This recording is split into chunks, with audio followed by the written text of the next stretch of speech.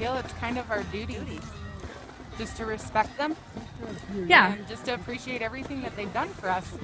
Um, a little bit of cold for a couple hours, and they sacrifice days and months and